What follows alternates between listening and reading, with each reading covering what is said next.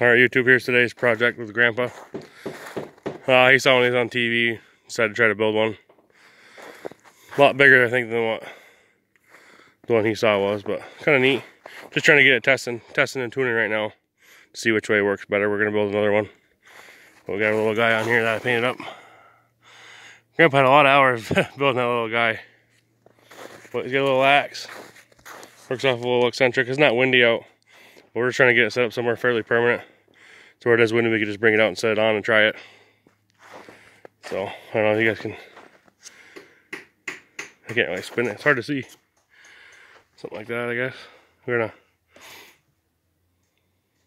take and put a couple of fake blocks of wood right here. You know, little pieces of tree branch or something. But basically just a little eccentric back here. And then you got there's like a linkage, you know. But trying to get everything balanced and figured out. We'll be back with you once we figure something out.